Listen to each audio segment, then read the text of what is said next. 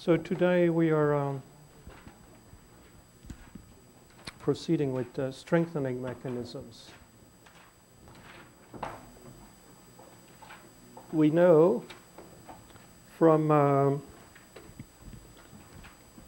last couple of lectures that, that iron is actually very soft material and that in um, most applications, if not all, um, strengthening is required. And uh, we, uh, we basically um, increased strength in steels by um, accumulating dislocations. And it's basically done by having obstacles in the way of the gliding dislocations. So we'll try to understand how we, uh, how we do this. We, we increase the strength by introducing lattice defects, uh, alloying elements, grain boundaries, dislocation, other dislocation precipitates. Uh, and those are basically the main uh, strengthening mechanisms, and they all act as obstacles. And we'll, we'll see if we can uh, actually calculate some, uh, the size of the strengthening effect for specific cases in steels. Hmm?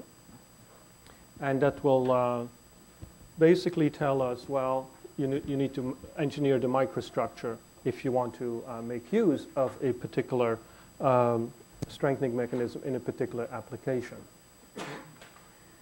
Right, and so we already know uh, from uh, earlier lectures that we um, uh, we can use solute atoms, uh, atoms as strengthening mechanism, dislocations, grain boundaries, precipitates. We can also use uh, multi-phase microstructures, uh, and we can do also do what's called structure strengthening in steels to achieve strengthening. Uh, so with solute atoms, we can have immobile obstacles. The solutes can act as immobile obstacles. Uh, for instance, uh, substitutional atoms are usually immobile. Or we can have mobile uh, solute atoms. Uh, some, at some conditions, uh, you can have solute interstitial atoms which are mobile at the temperature where you want to achieve the strengthening. Dislocations, um, uh, of course, in all steels, you apply this by just straining the material. The grain boundary strengthening is achieved by controlling the grain size. Precipitation hardening in steels uh, is usually achieved with hard particles, hard carbides or nitrides. Um, there's some very specific cases where we use soft particles, and that's the case when we use copper solute uh, uh, hardening and uh, some copper added steel when we would form very soft, softer copper uh, particles in the steel. And we'll discuss some of this in a moment. Multi-phase microstructure, we, we basically have more than one phase. And actually many steels are in these uh, situations. Um, for instance, the, the, the simplest um, uh, constructional steels are ferrite pearlite steels. And um, so we, we have two phases. We have ferrite and an additional amount, a volume fraction of, of uh, cementite, carbide. And you'll see that this uh, can give me appreciable strengthening. Uh, when we talk about structure uh, strengthening, um, we generally refer to uh, other processes than a second phase. We uh, refer to processes where a second phase is, uh, is created, for instance, uh, from uh, martensitic transformations. And that can be, in particular, through straining, you can uh, have the structure partially transformed into martensite, and that gives you structural strengthening. You can do that in single phase steels, for instance, stainless steels, or you can do this in this martensitic transfer in multi-phase steel, and then, and, and then we, we generally talk about low carbon TRIP steels. In addition, there is a process of deformation twinning where you don't really get a, a, uh, another phase, but you get the same phase with a different crystallographic orientation. That also uh, results in strengthening. Now, um, the interactions between dislocations and obstacles um, can be very diverse. Hmm? Uh, you can have obstacles which are weak or strong. So you have this. You, can have a on this diagram here. You can have uh, the strength of the interaction, as it were. Yes, um, and the interaction can be also um, very localized. Yes, or very diffuse. Yes, and um, so uh, let's just uh, give uh, an example here. Um, if you have strong obstacles, yes, which are um, very localized, yes, the, uh, the dislocations will act as these strong pinning points, yes. And this is, for instance, what you see uh, when you have in a, in a steel, you have a um, carbides or nitrides in the microstructure. You'll have, you'll have strong obstacles, which gives you a very local point-like interaction. But it doesn't have to be this way. Yes? There are interactions which are, for instance, non-local yes, interaction, diffuse interaction, and where the, uh, the obstacles are relatively weak. In that case, the dislocation kind of is influenced by uh, these obstacles in, in a non-local way. Hmm? Hmm? For instance, uh, when it moves, it will, it will jump over a number of these obstacles and it will uh, position itself in a low energy position somewhere in the uh, influence field of these, these obstacles. Hmm?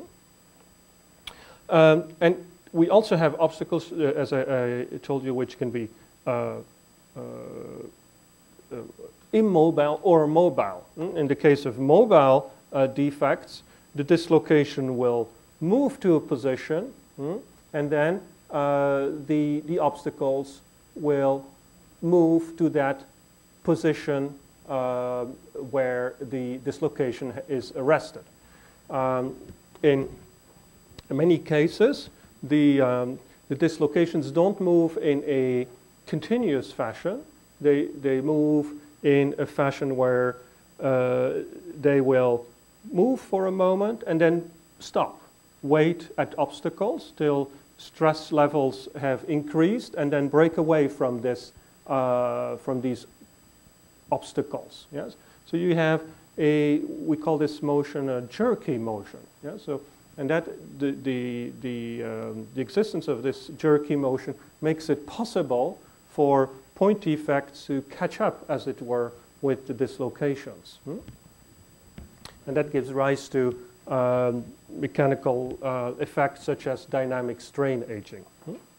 Okay, so, but the reason why I'm introducing this is uh, we, will, we will not go into this, but it's, it's important for you to realize that um, depending on the situation you have, the, the theory of uh, hardening, the theory of strengthening may be different.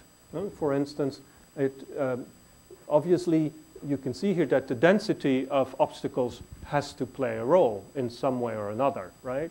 But the, um, the dependence on the concentration of the strengthening effect may be different depending on how the interaction, uh, what the interaction between the obstacle and the dislocation is. Hmm?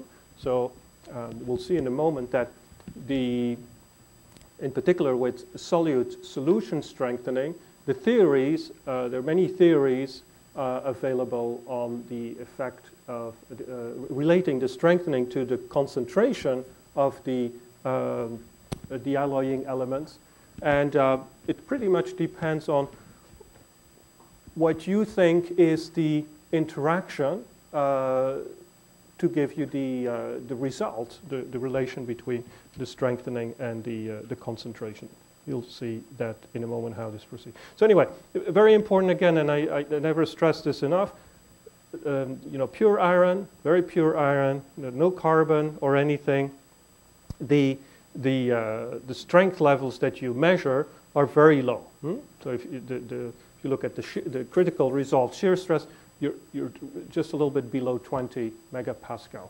And so if you calculate this into a tensile stress, uh, you're looking at 30 to 40 megapascal. So it's not very, not very much. It very quickly, as soon as you add some alloying elements, for instance, carbon, the, the, um, you, you see this uh, resolved shear stress increasing, and, and that is, of course, strengthening, a reflection of the, the strengthening effect. Hmm? So um, what, what is the interaction? Hmm? So if we, um, if, if we look at the general obstacle, the general obstacle, what, how does an obstacle work in general? Hmm? Well, you, you could think of it as a, an obstacle uh, being a, a, potential well, if you want. Hmm? And so the, um, uh, the dislocation will be when it uh, goes towards the obstacle, it, it is attracted to this potential well, yes? And then, um, and then to take it out of the potential well, you need to apply a force. Yes, you need to increase the force. So it, the dislocation uh, is attracted to the obstacle, and then you, you need some force to break it away from the obstacle. That's basically what an obstacle uh, does. It has a certain pinning effect on the dislocations. Hmm? And you can go um, I, this, the theory I'm going to uh, uh, discuss uh, this morning, you, you know, please don't, don't go too much into it as you review the, the material is not necessary because we're, we're basically, um, as I said, uh, you know, talking about steel and technology, but you, the, the number of things you, uh, you may be interested in where these uh, equations come from. But basically, um, one of the, the, the basic um, equations that allows you to um, determine this uh, interaction force here. Hmm, that's the force that the uh, uh, the uh, obstacles exert on the um,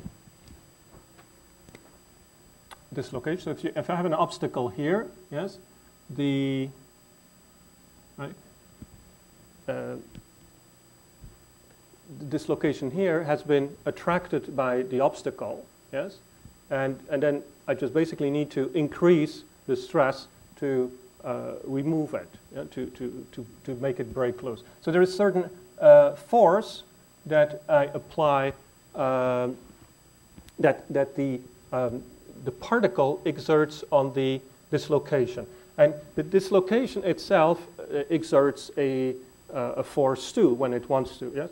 And the, the way we, um, we express this is by making use of the uh, line tension of the, uh, the dislocation. So these, these two bits of, uh, of dislocation here exert a pulling action. Hmm?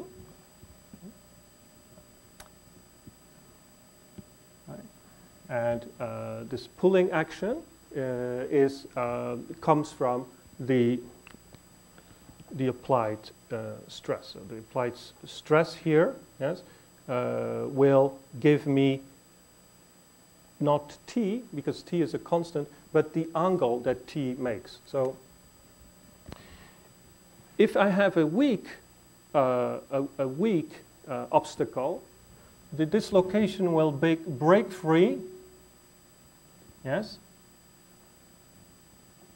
when, so this a weak, will break free, for instance, at this, in this case. Right? This location has broken free. Right? Uh, when um, this uh, angle here, this angle uh, theta, is very large. Yes, it's large. Yeah? If I have a very strong, um, very strong um, obstacle, then it will take me a lot more yes, it'll take me a lot more force to pass this obstacle, yes. So this is much larger. And in this extreme case, yes, uh,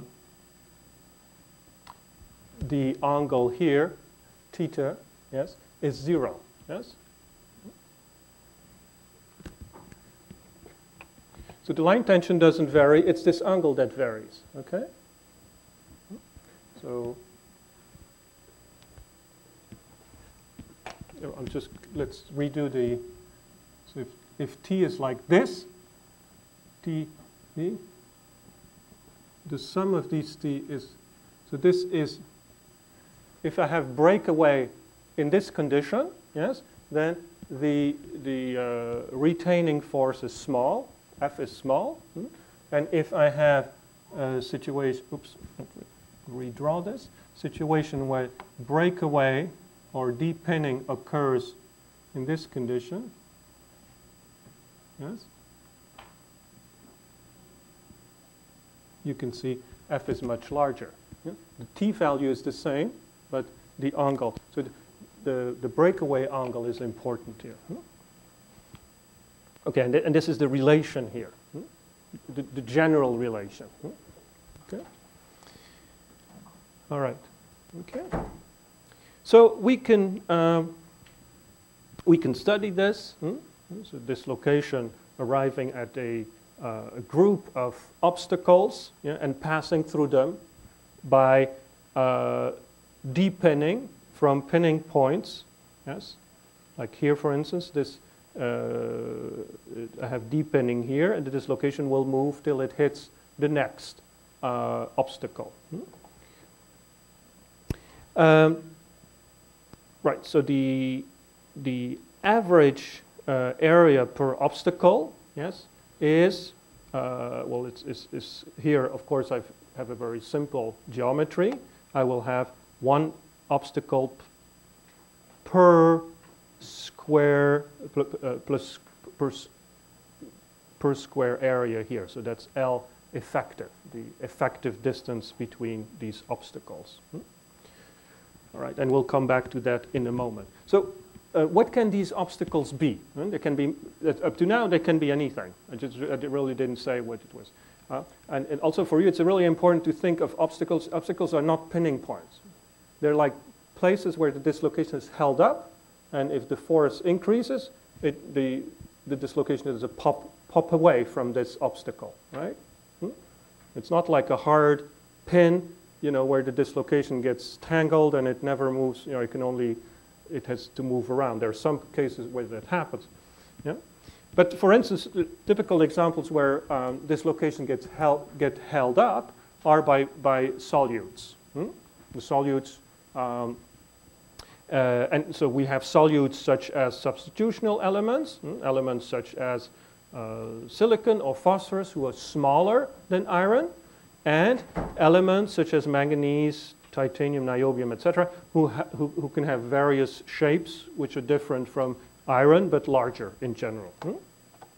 And then I have these uh, interstitial elements, interstitial elements that are present in uh, octahedral or tetrahedral positions. Usually we know in uh, octahedral positions in ferrite they have room in these octahedral positions, but not enough room. So they always will stretch the, the, the lattice around them. Hmm? And so two things happen uh, when, when you insert a, an alloying element is that I will have a change in the lattice parameter. Hmm? So the lattice parameter will change, not necessarily increase, Yes, it may decrease. Hmm? Uh, for instance, when you add silicon or phosphorus, you add you basically add elements that are smaller. Yeah? So that you don't, and, and when you add an element such as molybdenum, you have a very big element. So, um, so the, the, the, the lattice, local lattice distortion may be positive or negative. Hmm? But the important thing is they cause lattice, local lattice distortion. The other thing they do is because they have different um, electronic properties, yes, they will also influence the local uh, modulus. So basically, uh, the modulus will change locally. What does that mean? It means that the lattice can become locally harder or locally softer. Hmm?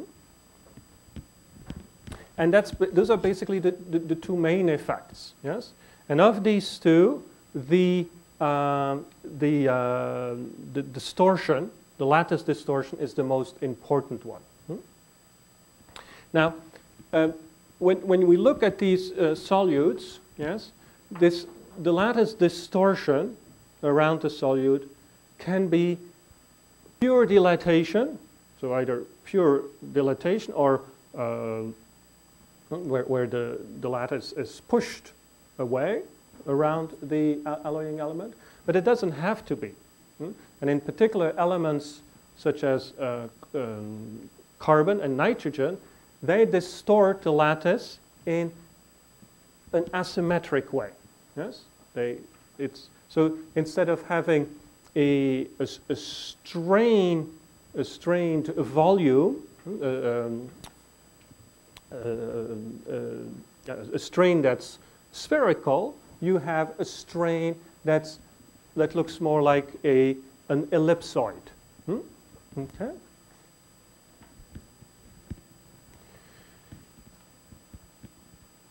Okay. When we insert uh, an atom in the lattice, the very complex electronic effects happen.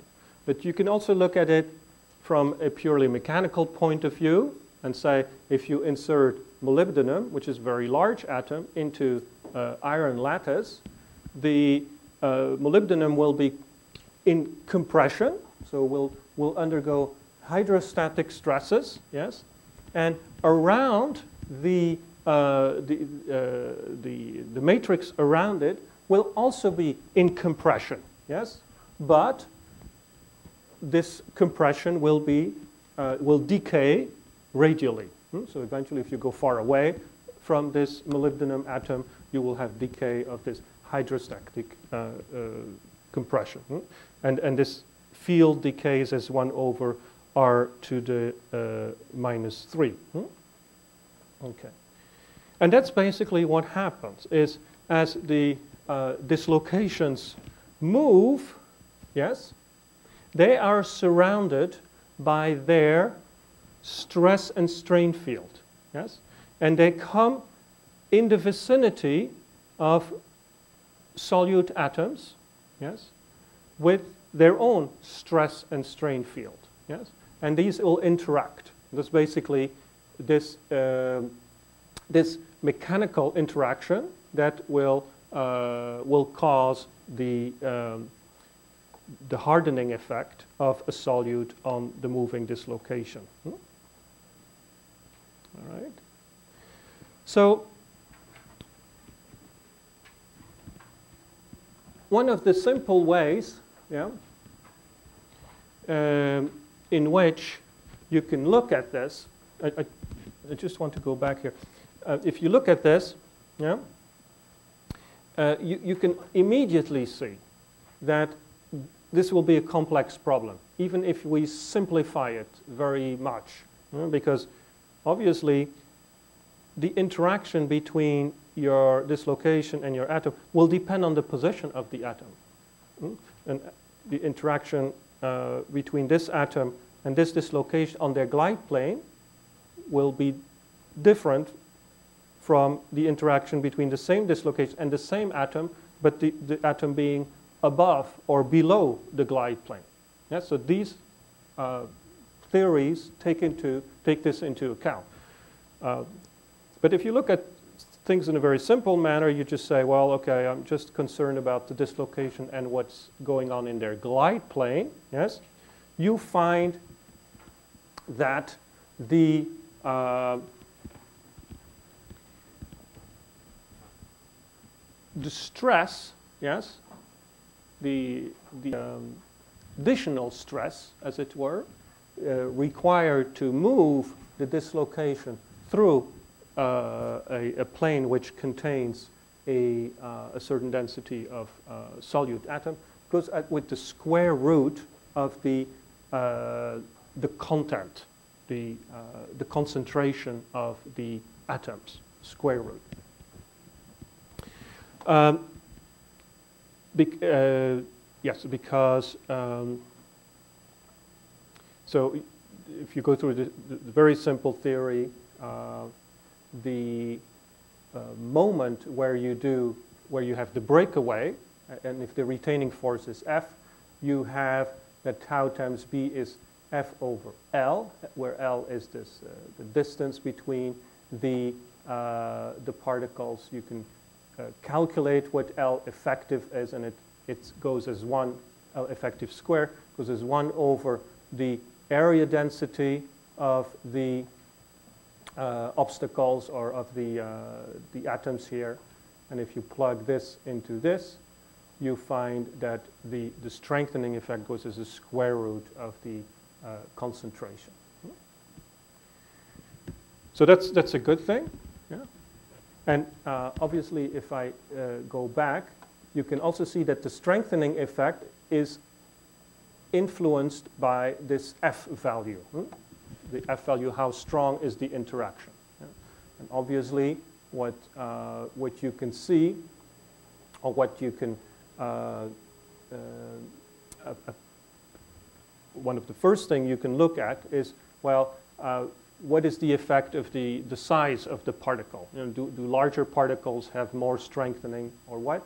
And you can see here that um, as a function of the z, the atomic number of the alloying element, you, you have uh, alloying um, atom diameters which are slightly uh, lower than that of iron and slightly higher than that of iron it's important that this, uh, this solid solution strengthening, as we call it, is um, it's taken into account. Um, you take into account the fact that um, if, if there is a very, very large difference in atomic size, the atoms usually don't stay into solid solution but form precipitates. Hmm? Okay. And uh, and, and what we do see is also is that um, uh, so, so as the z increases, the lattice, uh, the size of the atoms increase, and the, the misfit percentage increases, obviously. The, if you look at the elements, the main strengthening elements in, uh, in steels, in ferrite, ferritic steels, uh, they are phosphorus, silicon, and manganese. The, the volume misfit is about minus 13 for, uh, for phosphorus percent, uh, about minus 8 for silicon, and plus 5 for manganese.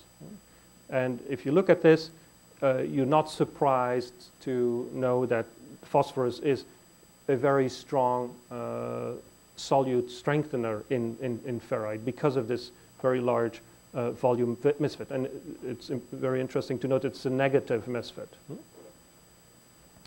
So people have looked at this, uh, at this misfit, yes? Um, so you can look at the atomic size, but it doesn't really tell you the effective lattice distortion that you get.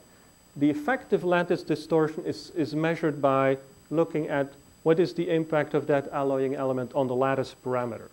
And that's this misfit parameter delta. So delta is uh, gives me an idea of the change of the lattice parameter of alpha with the concentration of that alloying element. And I express it uh, in, in, a relative uh, manner. So 1 over the lattice parameter. So I get a parameter that um, is not uh, uh dimension with, without any dimensions. Yeah?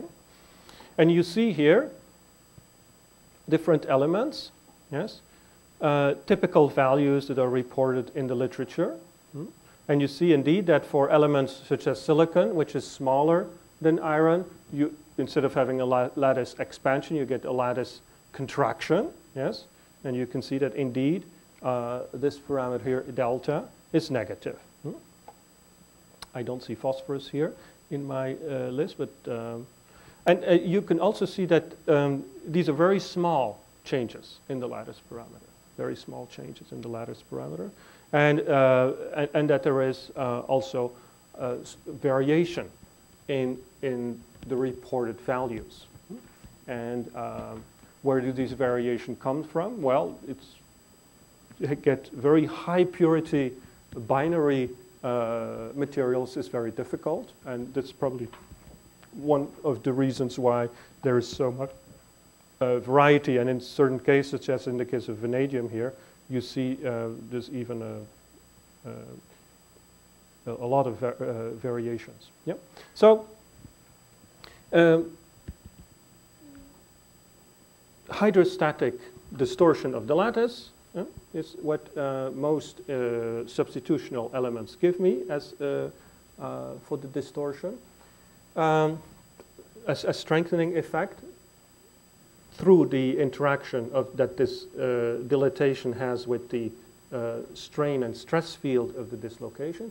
And this is one of the, the, the simple um, equations of uh, the strengthening effect here, hmm? where um,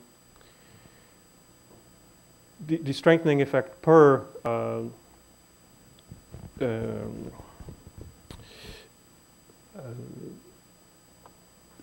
uh, per atomic percent of the element is given by 0.2 g times delta, hmm? g being the um, uh, uh, shear modulus and delta being given by, by this factor here, which is um, related to, to this delta, but not exactly to the, not exactly. Hmm? It's, it's uh, the, the relative difference in atomic uh, radius. Hmm?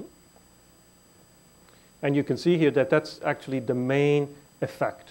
But there are other theories around, yes, um, where uh, which take into, uh, into consideration that there is a modulus effect, so that uh, the, the, modulus changes with concentration of alloying element, and the, uh, and the lattice parameter changes as, as a function of uh, the lattice um, concentration of that solute. But in general, what we find, most theories find is that the size effect is dominant. Yes, the lattice distortion is dominant. And, and here you have um, an alternative uh, equation here for the, the strengthening, uh, where the strengthening is proportional to the, uh, the size effect, this delta, and the concentration of your alloying element. And you see here that the uh, proportionality constant is not c to the, uh, the square root of c, but c to the two-thirds. Yes? And so in general, uh, most theories of solid solution hardening will give you the strengthening, yes, will depend on, so will be a function of the concentration of your alloying element to a certain power, yes, uh, and the interaction strength, the interaction strength, yes, and maybe a number of other parameters such as the modulus and things like that. The, this F value is a function of the, this factor here, yes, the, the lattice distortion, and eta, which is the modulus effect. So that's where all these parameters fit in. Hmm? So strengthening is a function of concentration of your alloying element, and then the, the strength of the obstacle dislocation interaction, which is a function of the distortion and the modulus uh, effect. And, and in general, if I may go back to the, yeah, in general, this gives rise to rather um, uh, different uh, exponents in most of these theories. It turns out, however, that in practice, it's very difficult to uh, experimentally verify these theories. Um, you know, because you would say, well, you know, what's so difficult? You just determine uh, this, uh, this exponent, yes? And if you, if you know this exponent from, by changing the concentration and measuring the strengthening effect, it should also be easy to find, you know, F, and, and then um, make, uh, be able to decide what theory is the correct theory. It turns out that it's not that easy because you cannot change these concentrations over large uh, concentration ranges, yes, which would allow you to do this. Yeah? So you're kind of stuck in you know, relatively small concentration ranges, and there you're not really able to say whether n is 1 or 1 half or 2 thirds. So the jury is still out on many of these uh, theories or application of these theories to uh, steel. And so um, in general, uh, you can use a very pragmatic approach and say, well, there's a linear relation. And that's actually as good as any.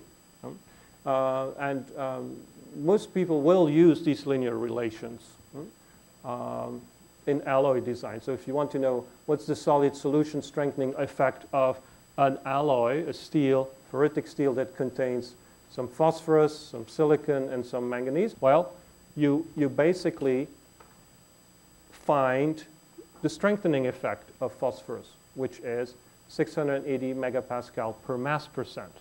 So if you know how much phosphorus has been added, so uh, if you have a, a, phosphorus content of 0.01 uh, percent of, uh, of phosphorus, yes, then uh, you get um, 6.8, yeah, you divide by 100, and you find 6.8 megapascal. Yes. Um,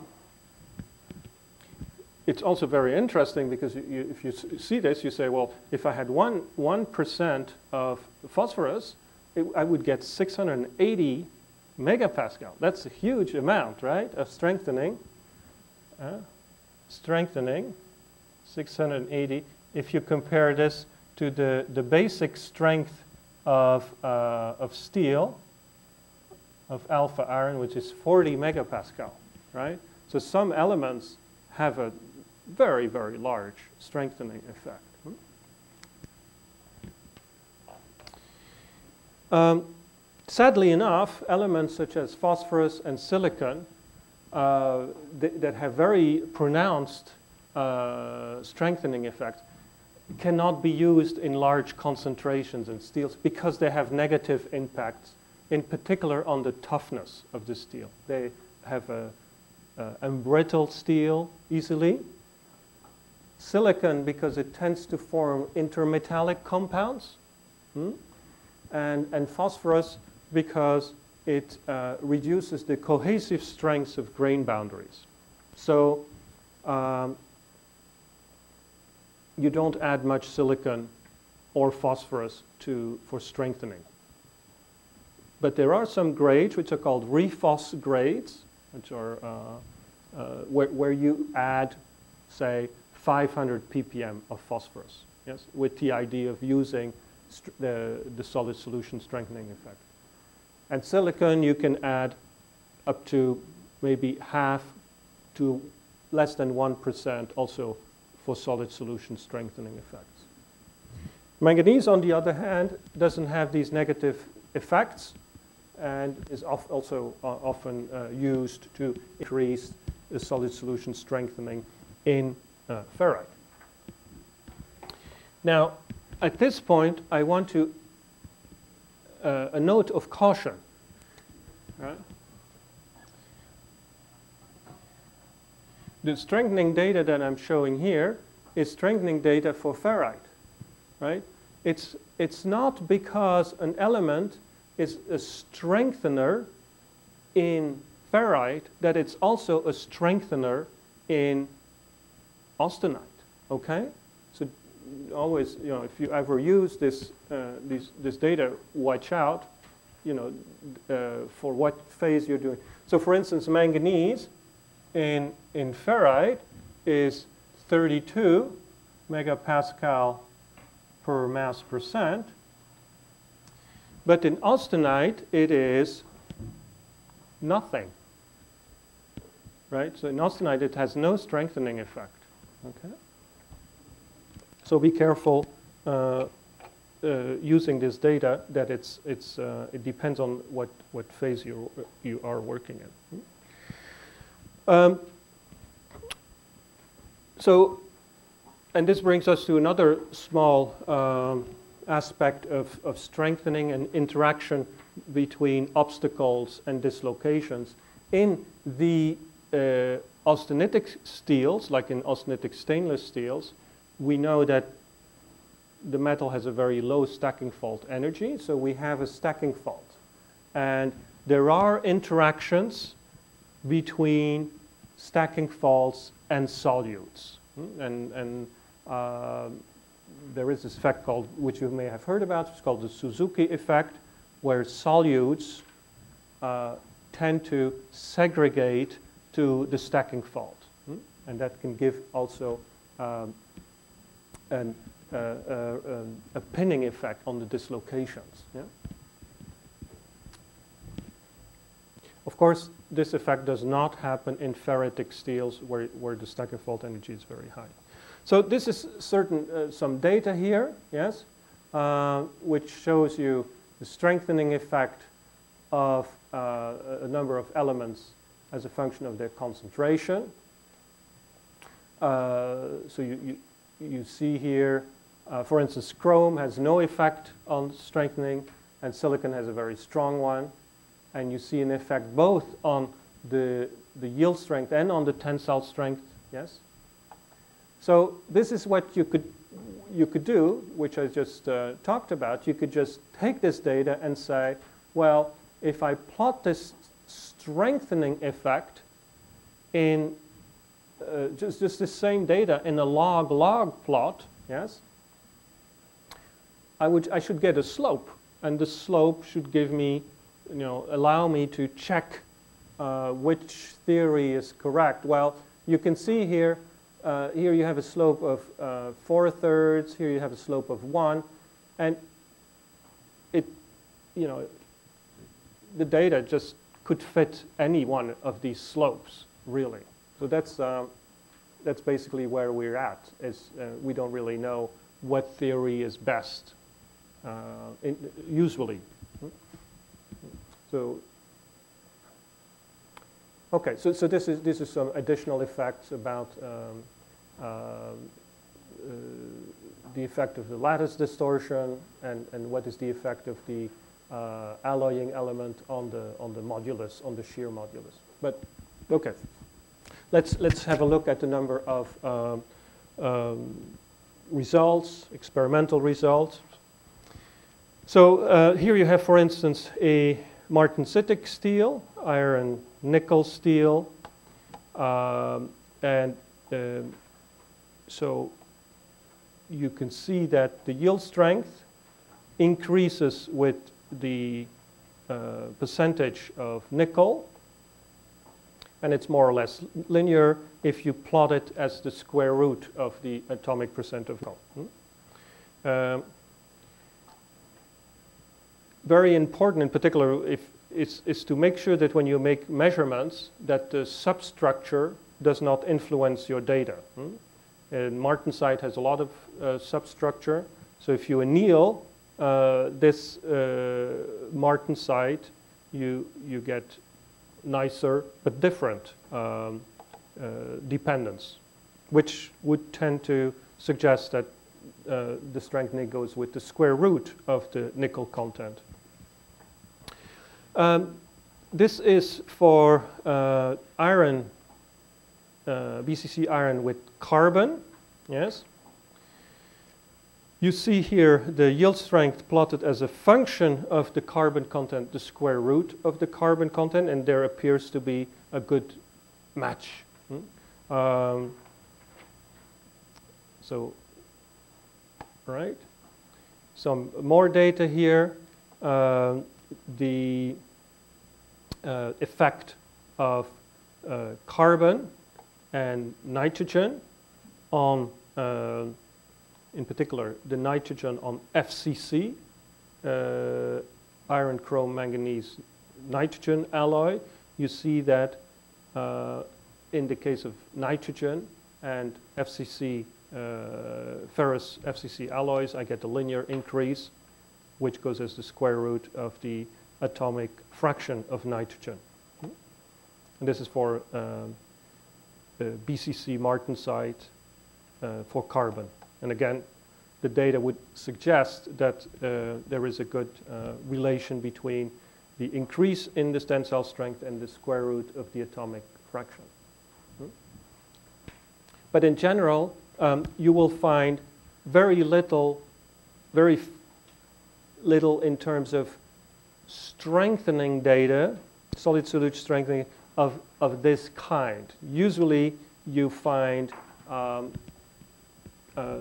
data uh, either from industry or from laboratory tests, extended laboratory tests, where people have used basically steels, yes, and then obtained strengthening uh, coefficients, assuming a linear relation between strengthening and the concentration of the element um, from doing uh, data analysis. Yeah? And so, and this is shown here for substitutional elements, phosphorus. So you can see that, and this is uh, published data here, different types of steels. Um, you see, it, you, you can say, well, phosphorus is very strong solid solution hardening, but the data that you get uh, is very scattered. You, know? you have data that goes as low as 500 and as high as 1250. Hmm? And the same with silicon, a little bit less uh, spread in for the case of manganese, etc. Hmm? So what, uh, what can you do with uh, this kind of situation? Um, the best thing to do is to you know, get the list uh, of the data, check which one which one is good data, hmm, was it done uh, using the right uh, techniques and methods, um, and then use the median value, you know, if you want to um, use all of them. Don't use the mean value because then the impact of outliers like this one is too high. So median values are, are, are typically a good um, solution. Um, Right. So here the the, the um, large um, uh, effect of uh, phosphorus, silicon, and uh, manganese is, is again illustrated. With the substitutional elements, yes, the strengthening effects are, are considerable. Hmm? So you, in comparison, they, they're easily uh, 10 times higher than for substitutional elements. And that's because you get a pronounced lattice distortion, which is not isotropic. Hmm? And um, you, you, get an elliptical uh, shape, strain ellipsoid uh, type of deformation of the lattice. But again, here, um, a wide variety of reported values going as low as 2,263 here up to uh, 5544 for carbon and uh, about the same type of range for nitrogen. This, the strengthening values of boron does not does appears to be a big effect, but there's not much reliable data. And the reason is because, again, the concentration levels of boron that uh, you can use to do these tests are rather limited. Hmm? But it appears to have a big, big effect. Again, we'll never use this effect because you never add a percent of boron to a steel. Um, it doesn't have enough uh, solubility. Anyway, again, uh, what's the approach? Uh, well, line them up and, and take the median value uh, and that's very close to 5,000 megapascal per percent for uh, carbon and, and, nitrogen in both cases. So very high uh, hardening here. Now,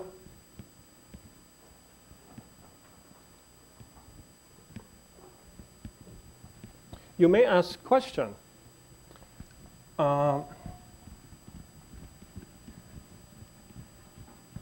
is it possible that um, atoms, solutes, instead of increasing the strength, reduce the strength? After all, why not? Hmm? Um, and it's particularly the case for ferritic steels. Yes? So if we look at uh, temperatures around room temperature, yes, and higher, yes, we can think of so room temperature and higher. Yeah? Uh, we can think of dislocations as interacting with atoms, yes, that exert a, a force on the dislocation, yeah? and, if, and if you apply enough uh, stress on the dislocation, the, the dislocation can pull away from this solute. However, there's something, remember, very special about ferrite and ferritic steels. And certainly at lower temperatures, we know that the properties are very dependent on uh, the way the dislocations move. And the dislocations tend to, to have this kind of shape with very long screw dislocations. And you know that these screw dislocations, they move by a process called kink pair formation. Yes? Yes? And then, once the kink pairs are formed, the propagation, lateral propagation of these kink pairs uh, to, to the left and to the right. Yeah? It turns out that certain alloying element, in fact, many alloying elements, yes, will facilitate, makes kink pair formation easier. Now, if you make the formation of kink pairs easier, you're not hardening the material at all. You're actually softening it. Yes? And so if you look at the increase of the yield strength of a particular element, for instance, silicon or manganese, yes, and you plot this as a function of the temperature, yes, you see that around room temperature, yes, you do get a high increase in the strength, but when you drop the temperature, it goes from a strengthening effect to a softening effect. Yes? You also see that as you increase the temperature, this, it, it doesn't, the, the, the strengthening effect is less. The reason why that is, that is because your modulus, yes, your shear modulus, your elastic modulus, decreases with temperature. Yes, and the strengthening effect is, of course, is, is also related to uh, the stiffness. And as your stiffness, the lattice stiffness is reduced, you get at higher temperature, you get less hardening. So very important here. Uh, so if you look at the uh, yield strength, yes, as a function of temperature, for iron, we know that it, it goes very, it goes up steeply below room temperature. Hmm? So this would be pure iron, pure iron. Now say I add silicon to pure iron? Well, at room temperature, the steel is stronger. I get strengthening. Yeah? So, and also at higher temperature, but at lower temperature, not. Right? So here, the alloyed variant, the alloyed uh, iron is softer than um, the unalloyed. So you get softening effect. And, and the explanation is, well, you know, it facilitates the presence of the alloying element facilitate the double kink formation process.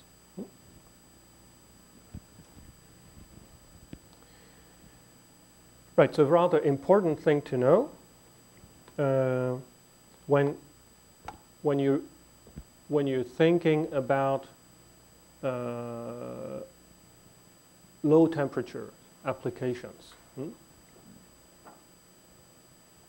Of course, uh, when, when you have an applications where, where both, you know, where, where your, your temperature range will be from plus 40 to minus 60, as many applications are, you know, obviously you, you know, you will have to uh, do room temperature strengthening, and then you will have to live with whatever softening an alloying element may give you at lower temperatures.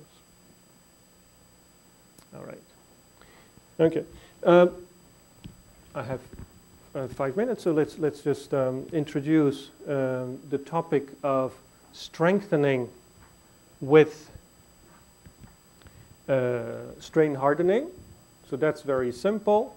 Uh, when you add dislocations, dislocation, dislocation interactions give rise to pinning.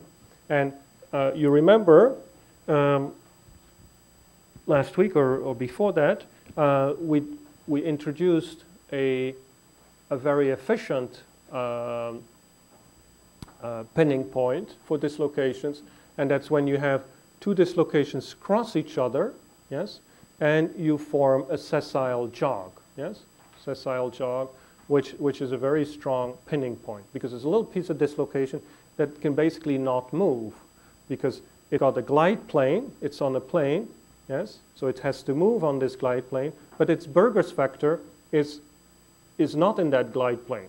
So the Burgers vector tells it in what direction it can move, it can shear, right? So it, it can only move in this direction, but it's, it's lying in this plane, so it's pretty much caught, uh, and, and it's very strong pinning point.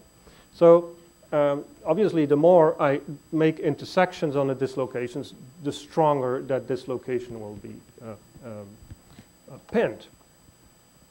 And um, if you if you look at the stress, yes, and if by some method or, or another um, you can use X-ray diffraction methods uh, to determine the dislocation density, or you can use direct observation by in transmission electron microscopy, just measure the dislocation density, and you plot the flow stress or the stress as a function of the dislocation density, the square root of it, you find a nice linear relationship.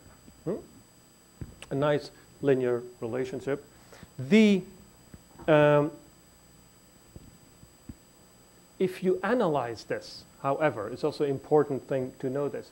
Uh, this dislocation density um, uh, doesn't masks something that happens to the dislocation density. As you um, deform the material, you just do not add dislocations. What, what also happens is you very often develop patterns, dislocation patterns. And so, which means that you have areas in your crystal with very high dislocation densities yeah? and areas with very low dislocation densities. Yes? And we call this a cell structure. Hmm? So if you, if you look at this dislocation density in more detail. So as you strain, yes, you measure, now this is dislocation density as a function of strain.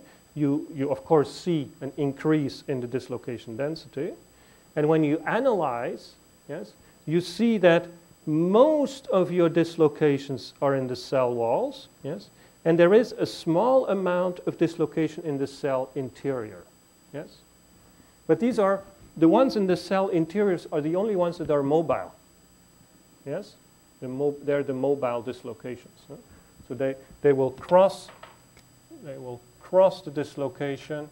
The dislocation will cross from one dislocation cell wall to another one and then be trapped into the dislocation uh, cell walls.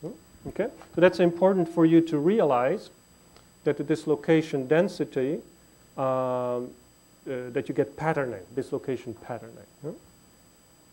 But even then, um, the relation between the, the strengthening effect from dislocation, dislocation interaction, from strain, so strain hardening, is proportional to the dislocation.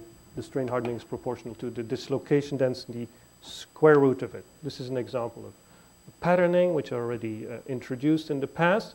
And so the important thing, uh, uh, this, this interaction between dislocation, we call this uh, forest dislocation hardening. So our dislocation on its glide plane encounters dislocations which are on an other glide plane. Hmm? And for instance, you generate a sessile jog, which acts as a very strong um, uh, obstacle. Hmm? So these obstacles here that the dislocation encounters, you have now to think of it as a forest. And instead of trees, you have dislocation lines, yeah? the forest of dislocation lines. And your, um, the dislocation that passes here is pinned by the other dislocations. Yes? Now, it's important, please uh, remember that it's not because dislocations cut each other that you always form a sessile jog, right? You not always form sessile jogs. It's, sometimes you do, sometimes you don't. It depends on the Burgers vectors, uh, the glide planes, etc. Hmm? So uh, these obstacles will have a certain uh, retaining force, yes, which may be large or small depending on the case. Yeah? And uh, yes, and the, the, the, distance between the uh, two dislocations, if you have a square pattern, yeah, you have a nice geometric square pattern, is given by 1 over the square root of the dislocation density. And that's where, that's the root of this, the reason why you have the strain, the strengthening uh, that is proportional to the square root of the dislocation density. Okay, we think I'll um, close. This is a good point to, to close, and uh, let's close here. And uh, we will uh, then meet uh, next uh, Monday morning.